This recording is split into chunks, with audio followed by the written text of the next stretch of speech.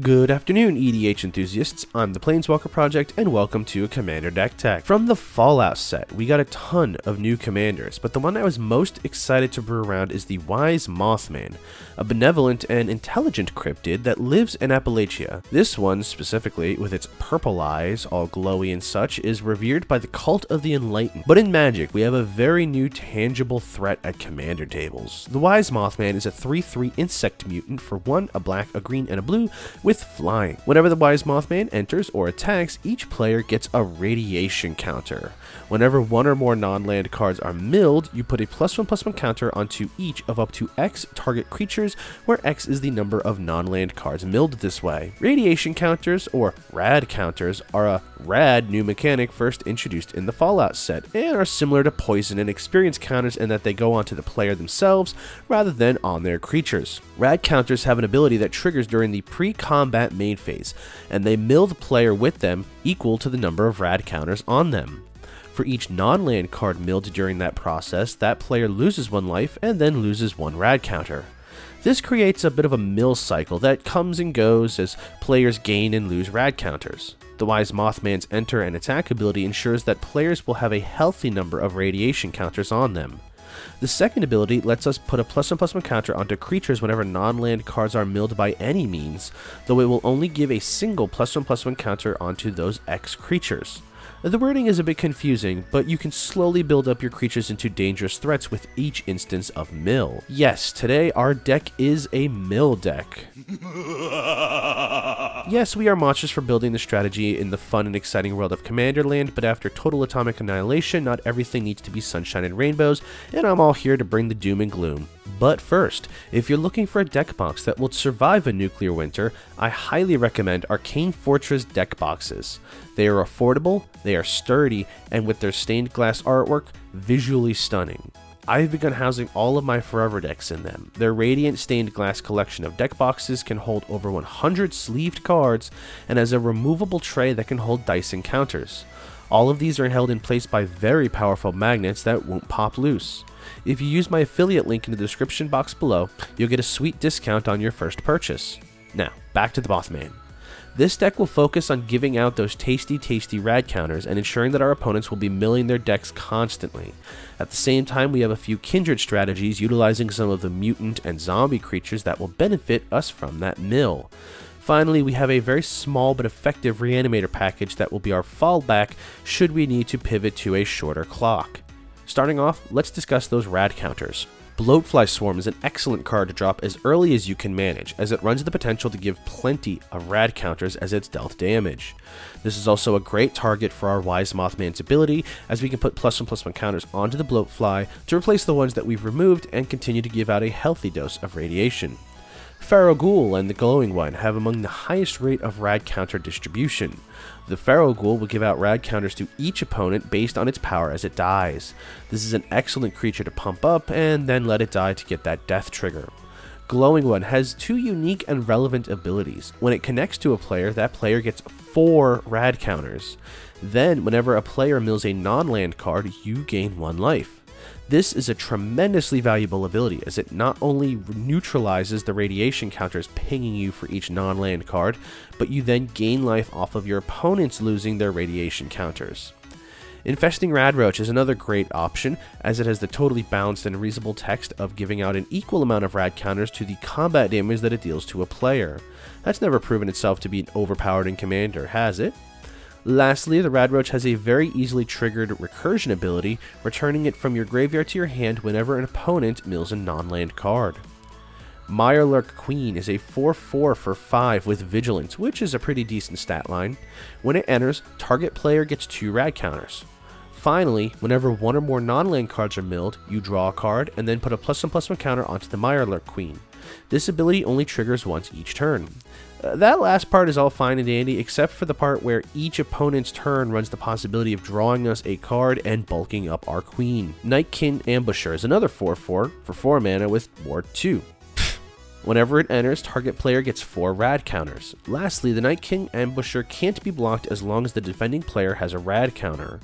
This is another bulk rad counter source, and because of its inherent protection, the potential to be unblockable, I highly contemplated adding in some infect to this deck. But then I realized I do want to play more than one game with this deck before someone shoves a Nuka-Cola bottle down my throat, so we'll go with the Milk Toast option and say not. Screeching Scorchbeast is a 5-5 flyer for 6 mana that also has Menace. Whenever the Scorchbeast attacks, each player gets 2 rad counters. Whenever one or more non-land cards are milled, you may create that many 2-2 black zombie mutant creature tokens. Do this only once per turn. There it is again, that super balanced and not actually stupidly powerful clause of creating that many of something. Yes, this only triggers once per turn, but each opponent does have a once turn, and if you're irradiating them, they're going to be milling cards. If they mill 5 cards and 4 of them are non-lands, you get 4 2-2 zombie mutants. If, at the start of your turn, you run the likelihood of untapping with a bunch of zombies ready for action. Strong, the Brutish Thespian, is a 7-7 for 6 mana with Ward 2. It also has Enrage. Whenever Strong is dealt damage, you get 3 radiation counters and put 3 plus 1 plus 1 counters onto Strong. You also gain life rather than lose life from radiation. This is so strong. Is that joke doing anything for anyone?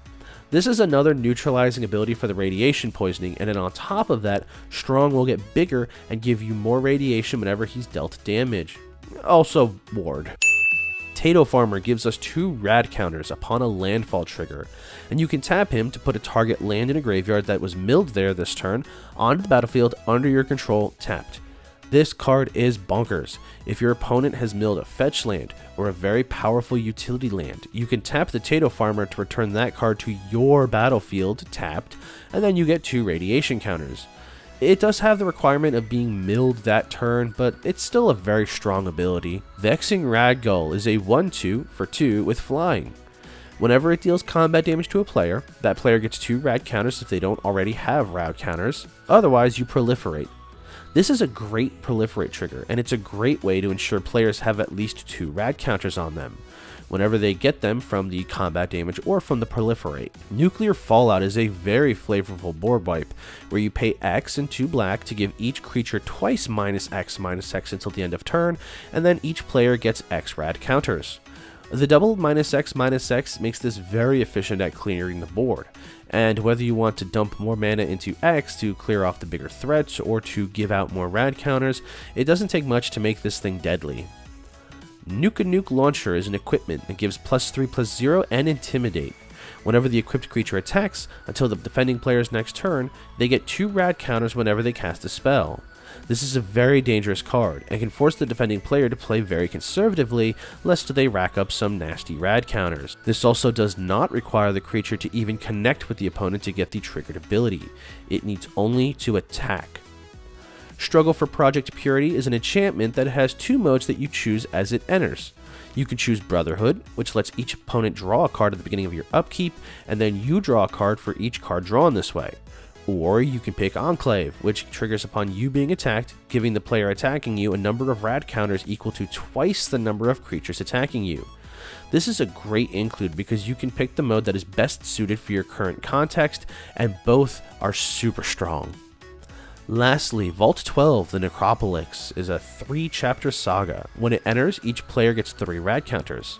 Upon Chapter 2 resolving, you create X 2-2 Black Zombie Mutant Creature tokens, where X is the total number of rad counters among the players. Finally, Chapter 3 resolves and puts 2 plus 1 plus 1 counters onto each creature you control that's either a zombie or a mutant. I love how high the ceiling is on this card, and it gets better as the more radiation lingers on the battlefield.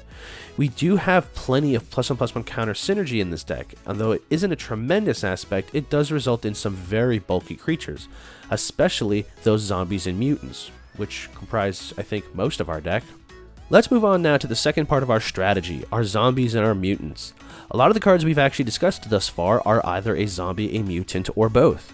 And so to help support those creature types, we've included some potent cards to make and break our hordes. Cleaver Scab is a 2-4 for 4 and has one ability. For 3 mana, you can sack another zombie and tap the Scab to create 2 tokens that are each copies of the sacrificed creature. This gives us double the value on some of our more dangerous zombies. Ferroghoul is my personal preference for the sacrifice option, as we not only get to dish out some rad counters, but we then get two more Ferroghouls, some of which we can sacrifice on the following turn for an additional two more tokens. Cryptbreaker is a mainstay in zombie decks. Being a one drop with plenty of upside in its two abilities, it's a great early game drop. You pay 2, tap the Cryptbreaker, and discard a card to create a 2-2 black zombie creature token. You can also tap 3 untapped zombies you control to draw a card and lose one life. Considering this deck has plenty of ways to getting zombies into play, we should have plenty of card draw fodder. Grave Titan is a classic zombie engine, creating two 2-2 black zombies whenever it enters or attacks. Gravespawn Sovereign lets us tap 5 untapped zombies we control to reanimate any creature. This includes our opponents, and so as we mill them of their precious cards, we can just yoink the ones that are best for our own personal use. Hancock Ghoulish Mayor gives plus X plus X to each of our zombies and mutants, where X is the number of counters on Hancock. He also has Undying, so if he dies and doesn't have a plus 1 plus 1 counter on him, he can return to the battlefield with a plus 1 plus 1 counter on him. This is also another great target to dump counters onto, as he'll give the entire board a static buff. Havengul Runebinder does a sort of similar thing, letting us use creatures in our graveyards to generate 2-2 zombies, and then we put a plus 1 plus 1 counter onto each zombie we control. Jason Bright is a potent card draw engine, letting us draw a card whenever a zombie or mutant we control dies, as long as its power was different from its base power all of the buffs that this deck can do will cause us to draw more cards, and then we can pay 2 and sacrifice a creature with the Come Fly With Me ability to put a plus 1 plus 1 counter onto a target creature we control, and it then gains flying until the end of turn. Literally, the bulk of this deck is either zombies or mutants, and so we can draw off of nearly anything in our deck. Lord of the Accursed is our classic zombie lord, giving a plus one plus one anthem effect, and we can pay 2, tap him to give all of our zombies menace until the end of turn. This can make us win through combat damage, should we need to press the game quicker. Undead Alchemist has a very unique role in this deck. While he's in play, any combat damage that our zombies would deal to a player are instead replaced by a mill effect. They don't take the combat damage, but instead they'll mill the amount of damage that they would have taken. Also, whenever a creature gets sent from an opponent's library to their graveyard, i.e. through mill, we exile that card and then we create a 2-2 zombie. This synergizes so nicely with our deck, as now our zombies are going to mill opponents and then when they hit creatures we get more zombies. Dreadhorde Invasion is a very important card for our zombie type as well. At the beginning of our upkeep, we lose one life and amass one, which either gives us a 0-0 zombie army creature token if we don't control one, and then puts a plus one plus one counter onto it, or we put a plus one plus one counter onto an army we control. The important part of this card's text is giving all zombie tokens with power 6 or greater lifelink until the end of turn. Now this doesn't specify that that lifelink is just the zombie army, and so if our other generic zombies have grown to power 6 or greater, they all gain lifelink. Graf Harvest is another route to the Menace ability, which can once again come in handy once we begin getting enough zombies in play. We also have a nice zombie generation ability for the price of 4 mana and exiling a card from our graveyard. For the sake of our reanimator pivot, we are heavily inclined to send cards to the graveyard through our mill effects, but should we absolutely need to, Rise of the Dark Realms reanimates everything in all graveyards and has them all enter under our control. This can be back-breaking levels of power. Should we have made our opponents mill all their best cards, they're going to serve us. A few mill cards that you can include can be cards like Altar of Dementia, which lets us sacrifice a creature to mill a player equal to that creature's power. Altar of the Brood, which mills one card from each opponent whenever another permanent enters under our control. Mesmeric Orb, which mills a player a card whenever they untap a permanent. This will mill us, but it's going to mill everyone else as well. Mindcrank mills opponents whenever they lose life. This can compound very nicely when they have to mill off of their radiation, as that one additional point of damage they take will make them lose a rad counter and translate to more milling. Bloodchief Ascension combos very nicely with this, and once we get it to at least 3 quest counters, whenever an opponent has a card enter their graveyard from anywhere, like when they mill, they lose 2 life and then we gain 2 life. This combined with Mindcrank is an infinite combo and will kill a player. Now, I am a fan of alternate win conditions, and so because we have a number of plus one plus one counters given out in this deck, I figured Simic Ascendancy would be a shoe-in. 20 plus 1 plus 1 counters should be very easy to get out in this deck. and so this can be easily achieved as a quick win condition. The main strategy of this deck is to put mill effects into place quickly, either through cards that can consistently give out rad counters, or just generic mill effects. We want to start putting pressure on opponents early, so they hopefully will lose their better targets. The deck folds to a reanimator strategy as those decks also thrive on their graveyards being full, and so we're unfortunately helping their deck out. But to play against them, you have to utilize our Grave Hate cards to snatch up their best cards before they find a way to get them back. Our deck handles mill a bit more aggressively than traditional mill decks in that we can actually defend ourselves with creatures. We have creatures that have bulk enough that can be thrown in the way of threats that come to take us out of the game. We are resilient, like the Rad Roaches, and can take anything that our opponents can throw at us. I think that was the most disgusting analogy I've ever read out loud. My gods. But for now, that will wrap up our look at the Wise Mothman Commander deck. What sort of cards are you currently building around? Let's talk about it in the comments below. I'd love to hear what you're brewing with from the Fallout set. If you enjoyed this video, likes and shares are the best way to help us grow as a channel. If you're new here, subscribe to never miss a beat. I appreciate you all hanging out with me today. Remember to take your rad X, and I'll see you all in the next video.